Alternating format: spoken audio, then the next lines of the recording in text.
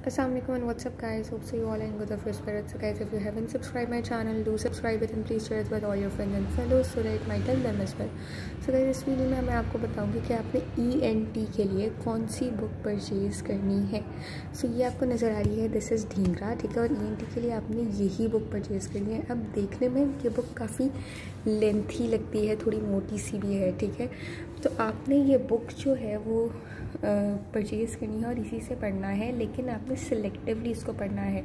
ठीक है? इसके अगर मैं आपको कॉन्टेंट्स दिखाऊँ तो वो काफ़ी यानी ज़्यादा हैं और हर चैप्टर जो है वो पढ़ने वाला नहीं है। कुछ सिर्फ़ आपने एम के लिए पढ़ने हैं, ठीक है? Like anatomy of ear is only M ठीक है?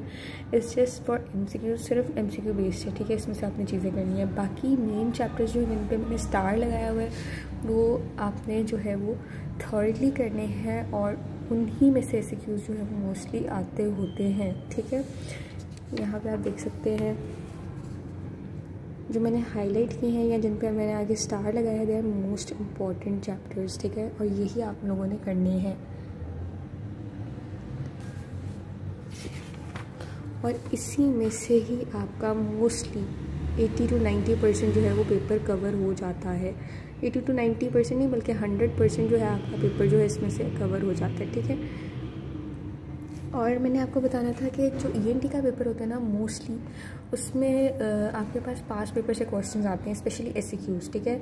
सो ईएनटी में आपने ये परेशान होना कि ये पेपर जो है मुश्किल होगा it is all from the past ठीक है? हमारा टोटल पेपर पास में से आया था अगर किसी ने बुक जो है, वो सुपरफिशियली पढ़ी है या उसको पढ़ने का टाइम नहीं मिला और सिर्फ़ पास किए थे तो आराम से पास हो सकता था, ठीक है?